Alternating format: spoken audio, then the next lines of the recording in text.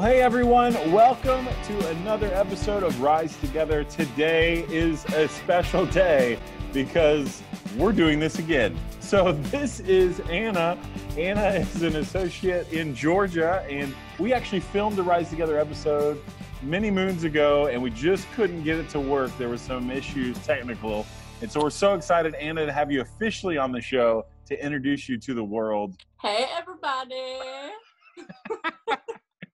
And so uh, I think my favorite thing about this conversation will be the Southern draw. So just tell us a little bit about yourself and who you are, where you are, and what you do.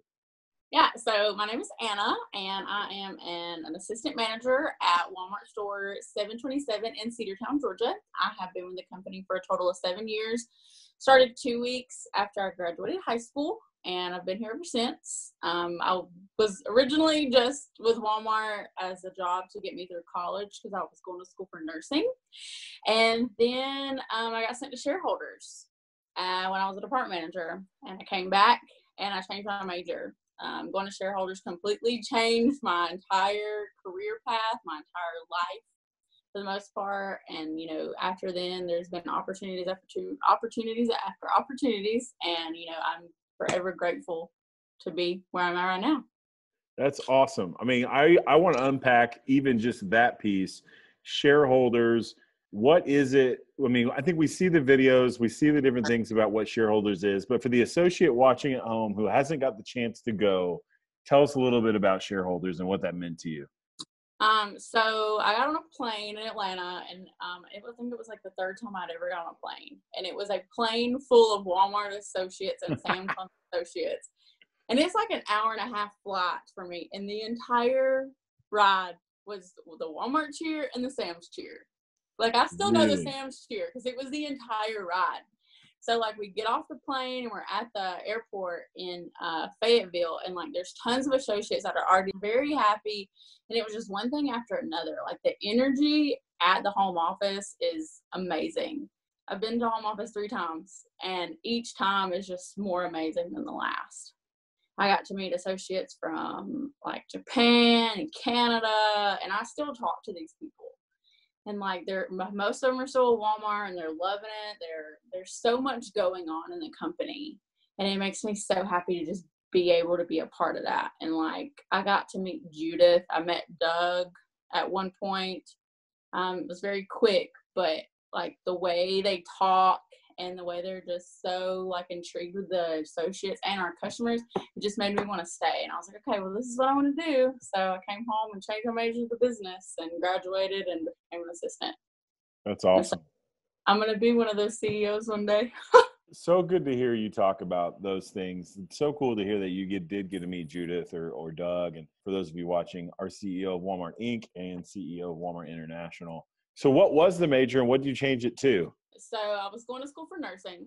When I went to shareholders, they showed like all these cool things about like associates doing things in their community and like helping kids and helping associates and customers. And I was just like, I can do that without the blood. So I changed my major to business and I decided, you know, I want to be an assistant. I want to, you know, make change in the world and I want to be in a position where I can do that.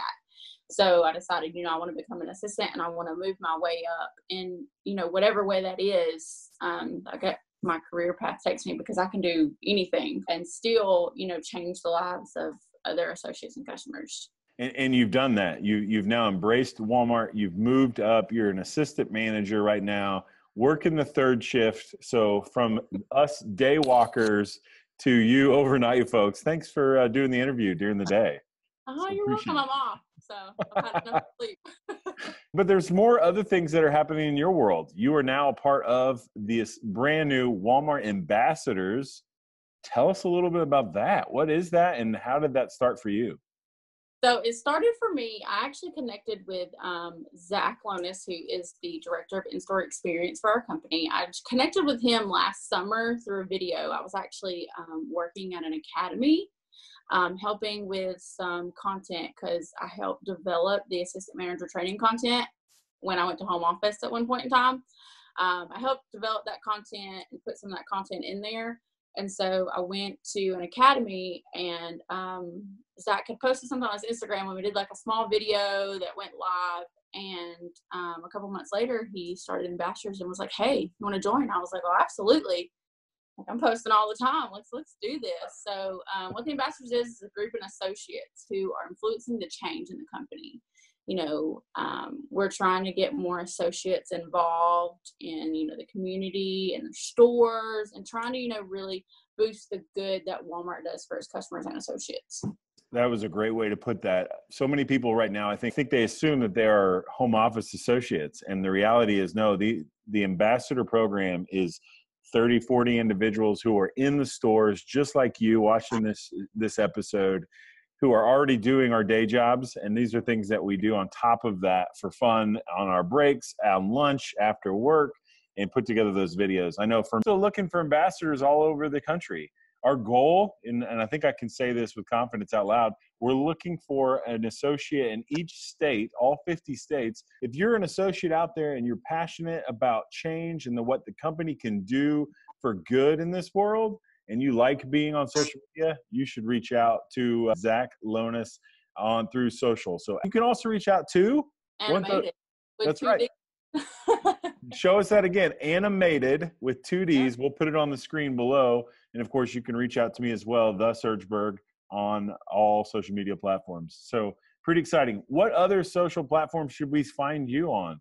on Facebook under Anna Williams. Um, you'll see kind of like my personal life on there, but um, there's a lot of Walmart on there too, like a lot. And then LinkedIn is what I use um, under Anna Williams. Um, I post a lot of like features that we built in our store, a lot of uh, associates, a lot of ideas, and a lot of like influence as you know what it takes to be a leader in the company. That's awesome. Any cool leadership lesson or story that you've learned along the way? Um, my main thing is to be enthusiastic. Like anybody who ever asks me like what it takes to be a leader, I'm like you need to be positive and enthusiastic. It doesn't matter the situation. If like third shift, like you walk in and it's blown up and you know it's just gonna be a bad night. If you're positive and you're enthusiastic, like you just took a bad night with the morale of your associates into okay, we're gonna do this and we're gonna be positive about it and we're gonna eat some donuts. So I like eating donuts. You're gonna be like enthusiastic and excited about, you know, let's do this. Let's make a change. You know, let's be the shift that turns this entire store and gets it ready mm. for our in the morning. A lot of changes happen in the whole world from associates to management to even staying on third shift when it would be great to come off third shift. But yet, your positivity, your encouragement, I've seen, and I think uh, you just deserve some kudos to that. So I'm just saying, great job. Thanks.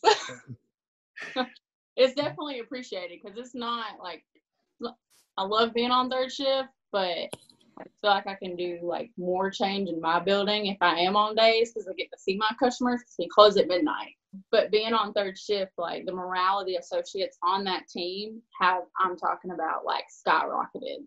Anna, uh, the question we ask everyone every single time: What does the spark, the Walmart spark, what does that mean to you, or what does it say to you? Um, so the spark to me is exactly what it says the spark. It's the spark that ignites and each and every associate and customer that steps into our stores.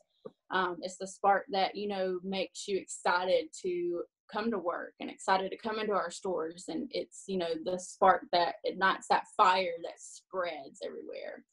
And another thing that the spark, um, you know, it brings pieces together. You know, it's hmm. six that, you know, ignites a fire. Hmm. I love that you said that the customer can get it too. That if we're excited, we're motivated, we're doing the right things, our spark not only could set that fire within our whole team, but even our customer. Think about this. We're not only changing the, your store now, you're changing your communities, your communities in your country, in your country, the world.